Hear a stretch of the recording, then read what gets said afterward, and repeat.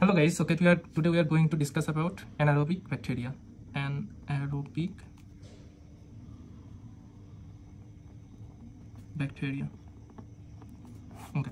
So at first in the anaerobic bacteria they uses nitrogen rather than oxygen rather than oxygen as a terminal receptor terminal receptor so at first the other bacteria uses oxygen as a terminal receptor, but anaerobic bacteria uses nitrogen as a terminal receptors.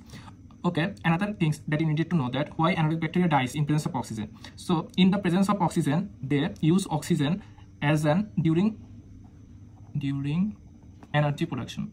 Energy production. So during energy production, they uses oxygen. And there are some toxic compound, toxic compound is produced like peroxide and superoxide. Superoxide which causes cell death. And it is prevented.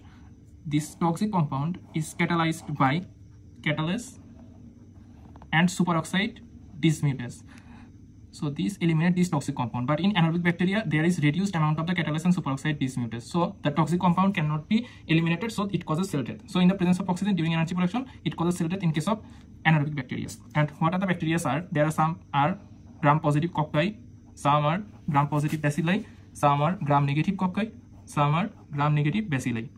So suppose this is the diaphragm. So this is the diaphragm. Now the cocci. The cocci that works uh, above the diaphragm micro aerophilic streptococcus these are peptococci and peptostreptococci pepto streptococci now, gram-positive bacilli. The gram-positive bacilli are Propionibacterium acne and actinomyces. Actinomyces. And that works below the diaphragm is Clostridium. Clostridium. The gram-negative cocci. The gram-negative cocci is Veillonella. Now the gram-negative bacilli. The gram-negative bacilli above the diaphragm is Prevotella.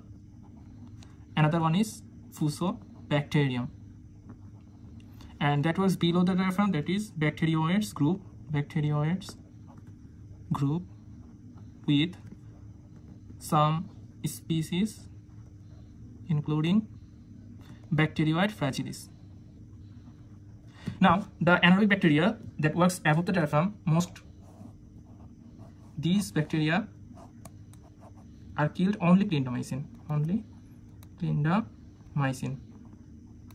And below the diaphragm here this bacteria is killed by only metronidazole works here metronidazole. So these two groups of bacteria uh, clindamycin does not work on that. And this group of bacteria that works diaphragm these group of bacteria are not killed by metronidazole. So diaphragm clindamycin work better and diaphragm metronidazole work better. And one another most thing the others antibiotics are that works everywhere these are carbapenem carbapenem. And uh, second generation cephalosporin like cefoxitin, cefoxitin, moxifloxacin, moxifloxacin, and penicillin G. At uh, mainly above from clindamycin plus penicillin G. It works better. Penicillin G. And in the CNS, and another one is chloramphenicol. Chloramphenicol. And in the CNS infection, the anaerobic coverage are metronidazole, metronidazole, and chloramphenicol. Chloramphenicol. And one more thing is that chloramphenicol cannot uh, works against Clostridium difficile, another species of the Clostridium. So Clostridium difficile is not killed by chloramphenicol. And uh, there are some other antibiotic that cannot kill the Clostridium difficile. These are Clostridium difficile. The all start with the C, so not work. All start with the C.